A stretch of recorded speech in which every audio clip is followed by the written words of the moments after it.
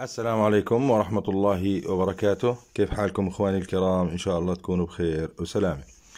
إخواني إن شاء الله اليوم بدنا نتعلم كيف نفحص آه، محرك سرعتين دلندر آه، مجهول. طبعا آه، مش مجهول البيانات لكن مجهول المعلومات. يعني المحرك عندي أنا خارج منه ست أطراف.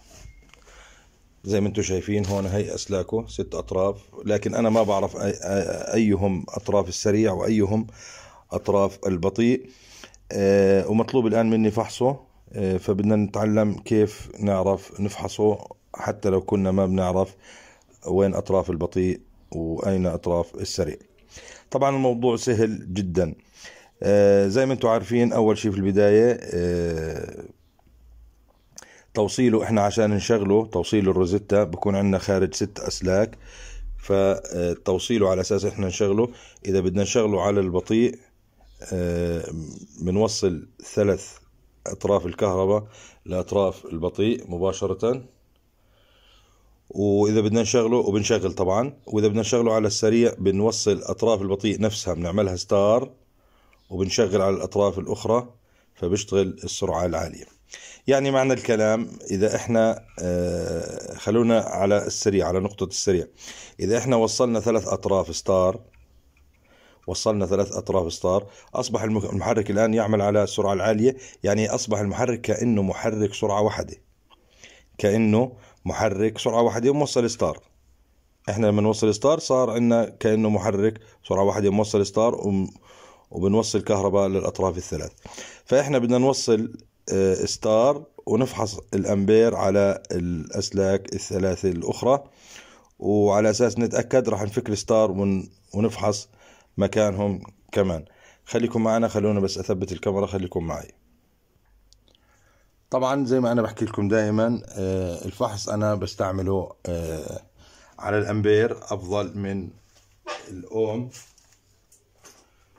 طبعا لو بدك تفحص الأم افحص لكن أنا بفضل دائما فحص الأمبير وطبعا رح نفحص عن طريق المحول زي ما آه، صرنا متعودين وزي ما صرنا شايفين وبنعلق عليه بنسة الأمبير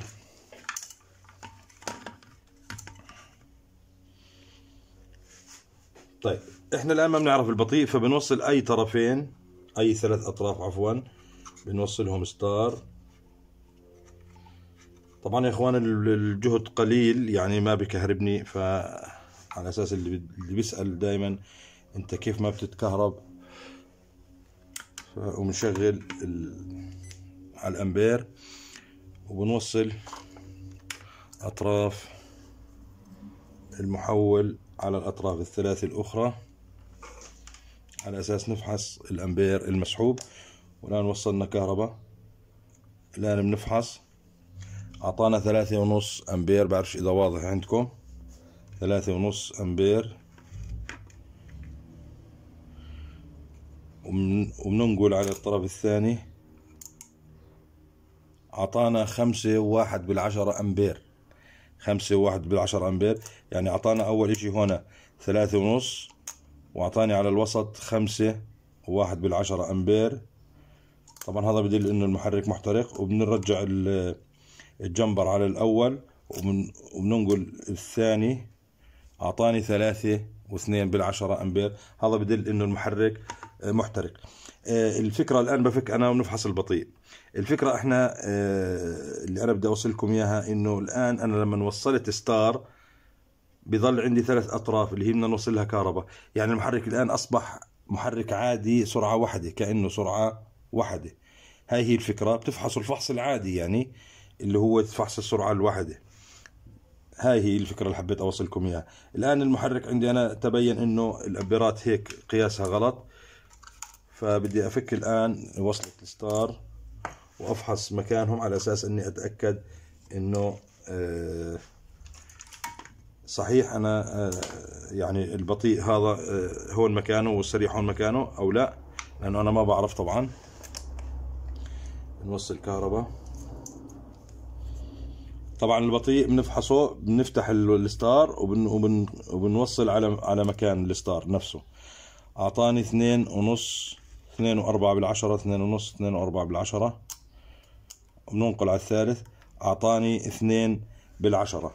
أعطاني اثنين بالعشرة. هذا بدل إنه المحرك محترق. وعلى الوسطاني أعطاني واحد وستة. أعطاني واحد وستة. هذا بدللنا إنه المحرك طبعا هيك بهاي الطريقة محترق. طبعا أنت على أساس إنك تتأكد إنه آه، فعلا هاي الجهة اللي عملناها ستار هي البطيء والجهة المقابلة هي السريع.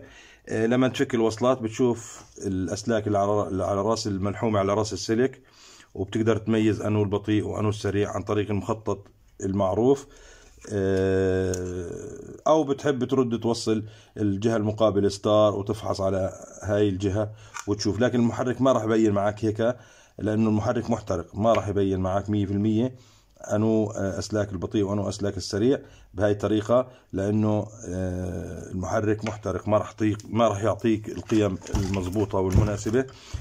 الأصل إنك تفك وتشوف شو موصول على راس الأسلاك شو ملحوم عليها من الداخل. طبعا هاي لوحته. بس أعطيكم عنها معلومة. آه سرعته 1400 و750 دورة آه 400 فولت طبعا آه ستارين ودلتا. 400 فولت. آه هاي هي طريقة طريقة سهلة. الفكرة زي ما حكينا برجع بكررها. بحب أنا أكرر على أساس إن المعلومة تثبت خاصة عند اللي بسمعها أول مرة. آه إنك أنت توصل الطريقة المعروفة بنوصل ثلاثة ستار وبنوصل كهرباء للأسلاك الثلاثة الأخرى بكون هذا السريع. فإحنا إذا وصلنا هاي التوصيلة بصير عندنا المحرك وكأنه محرك سرعة واحدة ما في أي مشاكل بنفحصه بطريقة الفحص العادية جدا بدون أي مشاكل. وهاي هي إن شاء الله إنكم تستفيدوا من المعلومات.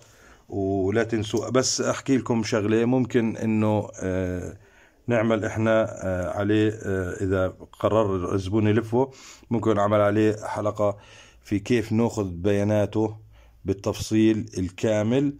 آه فانتظرونا على أساس ممكن إنه إحنا في الأيام القادمة نرجع ننشر سلسلة بلاد المغرب الكبير اللي إحنا ما نشرناها بصراحة.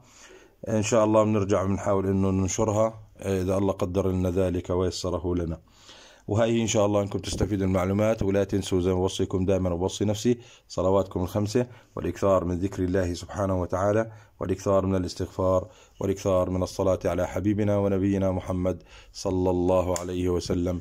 ودمتم بخير والسلام عليكم ورحمة الله وبركاته.